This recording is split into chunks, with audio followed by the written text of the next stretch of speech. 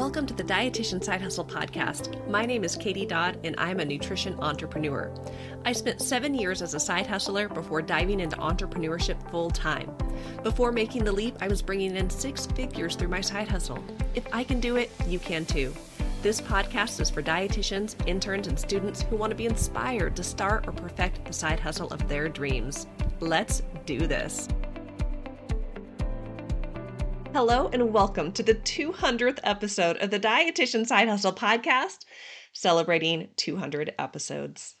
You guys, I cannot believe that this is the 200th podcast episode that has hit the airwaves. So I'm just going to spend this episode kind of reflecting back on the journey, but I want to start with saying a big thank you to you. Thank you to you for listening to this podcast. Some of you have been listening since day one. You have followed me on this journey, and what a journey it has been. Some of you are new to the podcast, and welcome. You know, the podcast wouldn't exist if it weren't for listeners like you. So I always want to start with thank you, and I am so appreciative of you all. So, the very first episode of Dietitian Side Hustle aired on November 10th, 2019. It was called Welcome to the dietitian side hustle. Now, during the week, I, at the time, I was working full time at the VA doing home care. I had gotten pretty tired of listening to music. I um, eventually listened to every genre of music known to man, and I, probably too late to the party, discovered the world of podcasting. I had started doing side hustles myself. I was diving deep into the world of entrepreneurship, and one of the podcasts I listened to related to entrepreneurship is called Smart Passive Income by Pat Flynn. And the episode I happened to be listening to in this, you know, early November 2019 week was called The State of Podcasts in 2020. And in a nutshell, what Pat Flynn was saying was you need to start a podcast. And I said, okay, Pat Flynn, by that Sunday, November 10th, 2019, the first episode of the podcast went live. Now, I initially started Dietitian Side Hustle as a hobby. As I was diving deeper into this entrepreneurial world, I just wanted to share with more people about all the cool things that we could do as a dietitian. So I started it as a hobby. Episodes initially were releasing once every two weeks because I was working full time and this was just a hobby. I never intended to make money through this brand. I now do. This part of my brand is actually the bigger part of my brand these days. And I just had no idea when I started the direction that everything would go. So I guess even though I don't know Pat Flynn, I want to say a big thank you to Pat Flynn because had he never said start a podcast, this podcast wouldn't exist. And I know for sure my life wouldn't look like how it does now. So to start, what I wanted to do is I want to go ahead and share a few clips from the original episode of the Dietitian Side Hustle podcast. It's I think it's like five different clips. I'm not good at transitions because I don't edit the podcast other than, you know, like I'm clipping, but it's not like I don't have fancy transitions. It's only about three minutes, but I just want to show you guys some excerpts from the first episode of the Dietitian Side Hustle podcast. Welcome to the Dietitian Side Hustle, airing November 10th, 2019. Enjoy. Hey guys, my name is Katie Dodd. Welcome to the first episode of the Dietitian Side Hustle podcast. I'm so grateful that you're taking the time to listen to this podcast and so excited for this opportunity to um, share all these things in my head that I want to share with you guys. So, I want to um, start off by telling you a little bit about me. So, I am a registered dietitian nutritionist. I have been a dietitian since 2008, so that's been um, 11 years now. And I have a full time job that I love. Um, I think that I was really lucky that the very first job I ever landed, it turned out to be my dream job. I'd never heard of this work before. I work in home care. So I'd never heard of dietitians working in home care, but gosh, I fell in love with my job, and 11 years later, I am in the same job. So, love my job. I am happy being a full time dietitian in a traditional job, but I have an entrepreneurial spirit. I like to do things on the side. Nutrition is not just my profession, it's my hobby. It's what makes me excited. It's um it's just it's what I love. In this podcast, I'm going to share gosh, a lot of information. I think I've already written down um 50 episode ideas. So I've got a lot of stuff bouncing around in my head that I can't wait to share with you all. So, what to expect expect imperfection. I have made a commitment to myself that in recording this podcast, I'm only doing one take. If I mess up, if I say, mm, uh, if I forget completely what I'm ta- completely what I'm talking about, like right now, or if I jumble up my words, which I totally do, I'm not going to re-record. I am not going to spend hours editing this podcast because I think um, most of you listening, all of you type A um, personalities, can realize it could probably take me five hours to publish a 15 minute podcast if I get too crazy with doing second takes, third takes, all these edits. So I'm just making this commitment to be imperfect. And I think one thing that I've learned on my journey you don't have to be perfect, but you have to get started. So that's what I'm doing today. I'm getting started on my journey. I write every day. I have a podcast. I have a heart for inspiring, educating, mentoring, coaching students and dietitians. And I'm just so excited for this opportunity. Thank you for listening and tuning in for my first episode of the Dietitian Side Hustle. Thanks so much for listening, and I'll talk to you guys next time. Bye. Okay, you guys. I hope it was fun to go back and listen to the first episode of the podcast. And I know I shared quite a few different things on there, but one thing I told you guys was to expect imperfection and the fact that I would only do one take on these podcast episodes. And I will tell you, 200 episodes later, that is something that I've remained true to. Um, if you're a regular listener of the podcast, you probably periodically hear me mess up my words or forget what the heck I was talking about and then remind you guys I don't edit the podcast and then I keep going. So that is something that I um, did stay committed to as being imperfect. And I shared something on there that you know, I hadn't listened to the podcast, the original episode until um until today. It's been a long time since I listened to it. And I, I said in there, you have to get started. You have to get started. And I look back and I'm like, thank goodness I started had I not started with that little imperfect podcast episode, I would not be where I am at today. Now, I intended this to be a practice imperfect an imperfection because I knew that someday I would look back on episode 1 and think, "Oh my gosh, that was so horrible. Look how far I've come." Although I will say my mindset has changed a lot. I really believe that I just have to get started. It doesn't have to be perfect. It could be crappy because someday, as I get better, because I knew that the more I did something, the better I would get, I would look back and I would say, like, oh man, look how much I've grown. But my mindset's actually changed. When I listen to that episode, I think it's wonderful. I think it's wonderful. And I no longer have like a negative self talk where I criticize myself like I might have in the past. But a lot of that has been work on mindset. So even though I always plan like someday I'll look back at episode one and think, man, that sucked. I've come so far. I don't feel that way anymore. I, I recognize I've come so far, but I'm so grateful for day one. And even though it was the first episode of the podcast, it's not like it was the first time I spoke publicly. I, you know, had been doing speaking gigs and webinars and volunteered a lot within my job and within the academy. So probably going into the podcast, I wasn't as rough as I thought I was. But I'll be honest, at the time, I thought that episode was awful. and I look back, I'm like, Katie, why were you so mean to yourself? for me this has been one of the biggest blessings of the entrepreneurial journey is how much it's changed my mindset and my mental health and how much more confidence I have in who I am and how much more I value and appreciate myself and also this one life that I get to live. So, kind of doing a few reflections of looking back to um, November 2019 to present. I'm currently recording this in April of 2024. It will air in May of 2024. And a lot of life has happened, you guys. A lot of life has happened. Now, my kiddos were much younger then. I mean, math is hard. I can't do this on the fly. It's been almost five years, right? It's been five years. Five years in November? Almost five years. Four, four and a half years. It's been a minute since I started the podcast. And so many things have changed for my children, of course, being older to really building on multiple streams of income. When I first started this podcast, I had my blog, The Geriatric Dietitian, but I didn't have a lot of traffic. It was less than a thousand visits per month. And little did I know that that little blog would continue to make more and more traffic and would eventually make thousands of dollars in passive income month after month after month.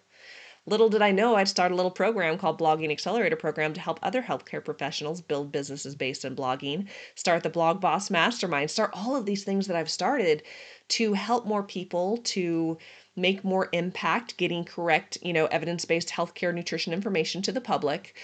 But then also how much it's changed my own life. I mentioned the confidence piece, my mindset piece, my mental health, but then also the fact that I left my full-time job. I started this podcast because I was a side hustler and I loved my job. But I'll be honest with you guys, and I suspect if you're a long-time listener to this podcast, you probably have figured out my personality by now. I am an optimist and I'm a very positive person. I don't think it mattered what my job was.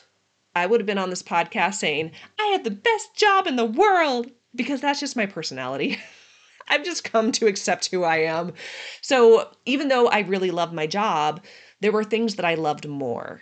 And I, I think at the time I just didn't I didn't have any other framework. I didn't know what else was possible. I had no idea the freedom that comes in online entrepreneurship. So I really felt like a traditional job was the only way to go. Side hustle is great because it made me extra money. But when I recorded that episode in um, November of 2019, I had no idea that just a few short year- years later I would leave my full time job and no longer be a side hustler right? I mean, I started a podcast, Dietitian Side Hustle, because I was a side hustler. I had no idea that I would become a full hustler. That's what I am now, a full hustler. So when I reflect back on the journey, it's been pretty wild. All the changes that have happened in my life related to business, related to personal, related to mental health. It has been a journey and one that I am so grateful for. So, a couple of things. I went back and looked through all my episodes, you guys, and over the years, I've had over 45 different guests on the podcast. 45 amazing humans who took their time to come on on the podcast, share their expertise with you guys. Initially, I was going to read all 45 names, but I'm like, that's a lot. so I'll just read some of them that that I happen to jot down. You know, first I'll start with Liz Jalkowitz. Liz, the dietitian editor, she's actually the person who's been on the podcast the most. You guys probably know her pretty well at this point. Then we have Greg Todd. He is my business coach with Smart Success Healthcare. He's probably been on the podcast second most. And of course, I talk about him all the time.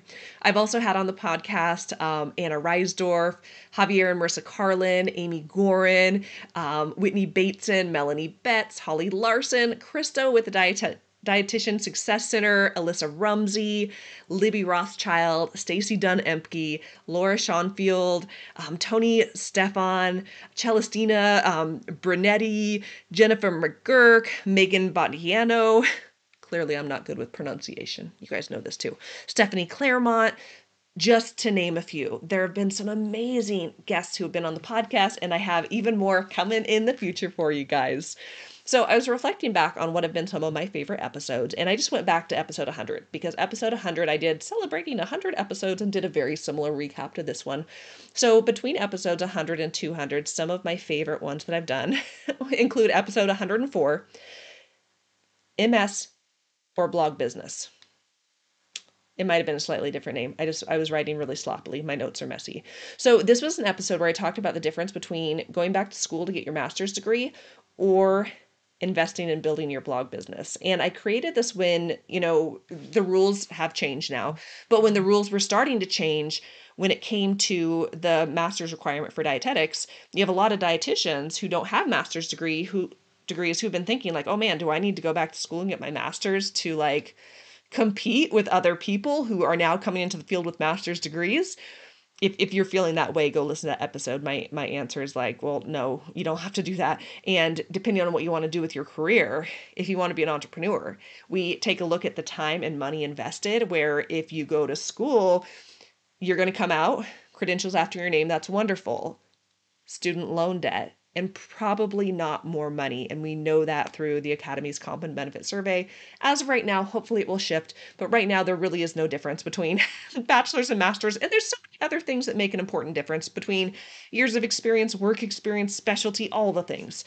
But painting the picture where if you invest in building a blog business, taking an online program, learning from experts, putting in that same amount of time that you'd be studying to get that master's degree, by the time you would be done getting a master's degree, you would have a blog that is making passive income month after month after month.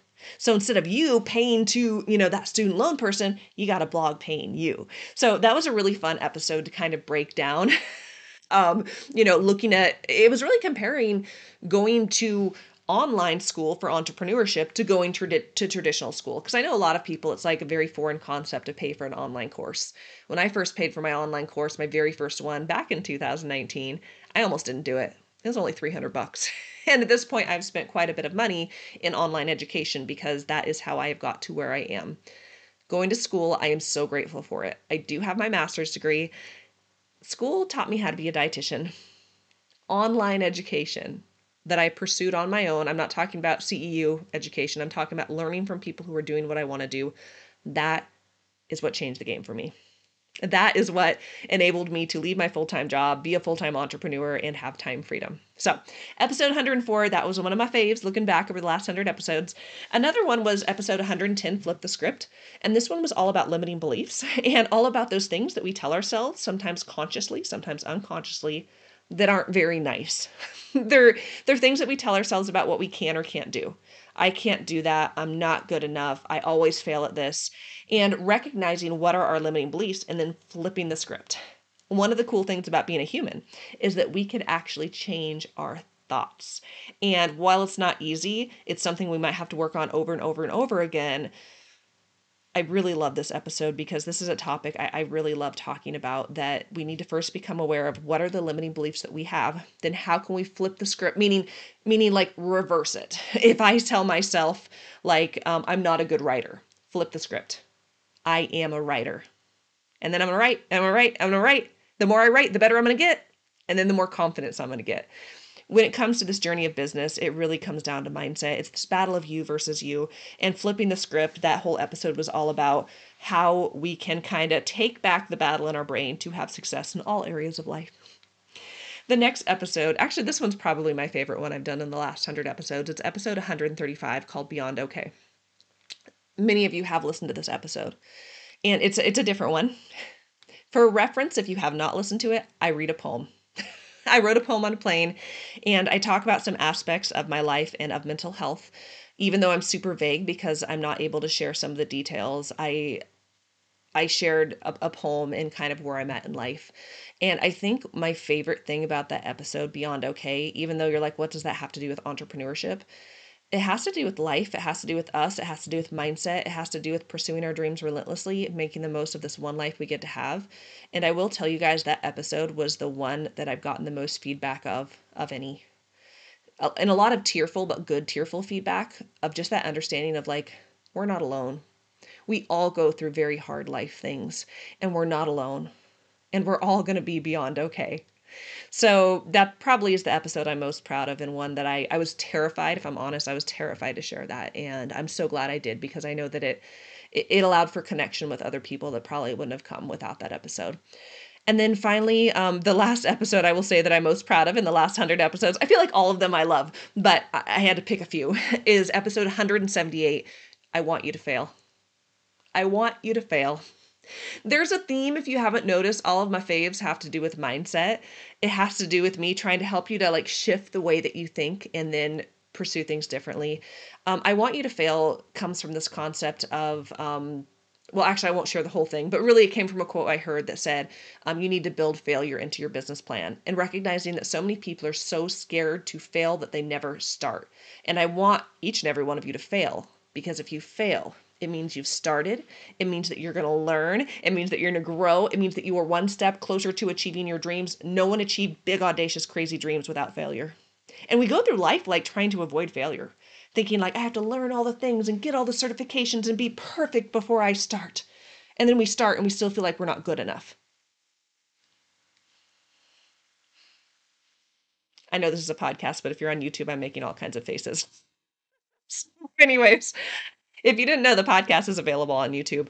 But those are my favorite ones over the last 100 episodes have been, again, episode 104, 110, 135, 178. If you haven't listened to them, make note and go back and listen to them. So let's talk about moving forward with the podcast. So, moving forward, expect more of the same. I have no intention of quitting this podcast anytime soon. I look forward to celebrating 300 episodes with you guys next. Um, if I were to share some advice with you guys, I would say three pieces of advice I want to share with you guys. Get started, keep going, and get in the right rooms. This podcast has journeyed, journeyed, has followed my journey. When I started this podcast, I was making like, I think 2019, I made $7,500 in my podcast, in my podcast, in my side hustle. $7,500 in my side hustle. The next year in 2020, I made 30, 35,000, 32 or 35. I feel like it's 35, $35,000 in my side hustle. 2021, I made $150,000 in my side hustle. At the end of that year, I left my job. 2022 was my first year as a full-time entrepreneur. And and there's been a lot of life between then and now that has happened and, and a lot of good amazing things, hard things, but good amazing things. So what's been so fun about this podcast is I'm able to even look back at where I started and where I'm at now and I can tell you the truth. I'm pretty I'm pretty like, wow, did that really happen? so what I want to share again is just like you got to get started. Whatever your big dreams are, you have to start and I want you to start today. Starting today might be sitting down and taking time to dream. What do I want to do? What is the side hustle I want to start? What is the big audacious goal I have? Getting started might be writing it down, getting it out of your head, writing it down, making a plan. But you have to get started. Do not wait until life is perfect. It will never be perfect. Do not wait until you know all the things. You're only going to know the things by doing the things, and you're not going to know it unless you do it. Get started, my friends. Then keep going. It's not enough just to start. A lot of people start and fail. I look back to 2019, watching all the other entrepreneurs around me. A lot of them aren't here today or they've gone back to traditional jobs. You have to keep going. Understand the journey is full of ups and downs. You will fail. Be okay with that. And that leads me to my next thing of getting the right rooms with the right people. Find people doing what you want to do. Pay them money to learn from them. Surround yourself with people who are doing such amazing things that it wants you to do amazing things. A rising tide raises all ships. And find people who are going to see in you what you cannot see in yourself yet over time as they continue to speak truth into your life and they see who you are and they you know call out all those amazing things that you are eventually you start believing them and then you get more confident and then you do the thing more so that is just i guess my parting words with you guys get started keep going and get in the right rooms. Thank you so much for listening to the Dietitian Side Hustle podcast. It has been an honor to share all of this over the last 200 episodes. I, I wish I can count the minutes of how many minutes that is of podcast episodes because it's a lot. I am looking forward to continuing sharing episodes. If you guys ever want to like hear me talk about something in particular, you want a special guest, just reach out and let me know. I'm happy to, you know, create whatever type of content you guys want. And as always, feel free to reach out to me on social media, via email. However, I always love hearing from you guys. I truly, truly do. So, thank you so much for listening to this podcast episode where I just kind of babbled and reflected on the past 200 episodes. If you want to learn about all the ways we could work together, go to katiedodd.com. That is my Linktree page. And I will see you all on the podcast next week. Bye, guys.